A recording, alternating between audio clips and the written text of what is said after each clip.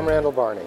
We're here at CABSAT speaking with WTA members about satellite solutions and technologies and how they're meeting the needs of their customers today and in the future.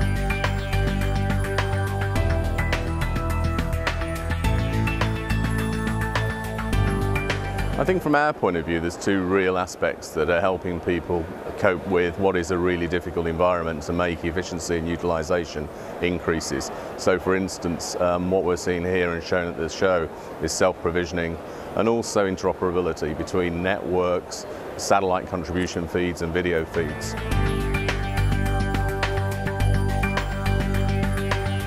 Okay, when I mentioned self-provisioning before, what we're demonstrating over here is we're demonstrating the ability for the customers of major satellite operators and network operators to actually use a thing called Portal to very simply, via question and answer, book in a few minutes a complex contribution feed without having the overhead of a booking office, lots of emails, lots of phone calls, so bringing real reductions in the administration cost of making those bookings. In addition to that, what we're seeing and showing is a product called Chorus. So Chorus allows us to demonstrate how we actually control equipment in the network to provide, again, for instance, contribution feeds.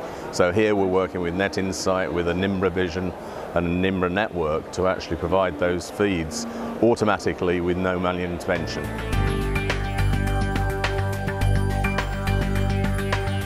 I think so. I think we're seeing for the first time in the coming years where collaborations between many of the global operators in the terrestrial world, and we're now seeing worldwide network operators working together.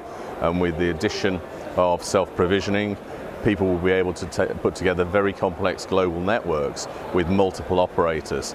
And so the efficiencies of joining to existing services, being able to get true global networks simply and efficiently will come more and more to the fore. So I see there being more and more collaboration, more and more partnerships, and I think that will bring more operating efficiencies.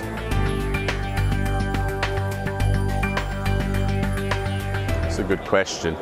I think probably what we'd like to see is we'd like to see a more a more open playing field where we have an integration that enables us to, to play across different markets and actually provide what the customers we believe need in a simple, self-provisioned manner.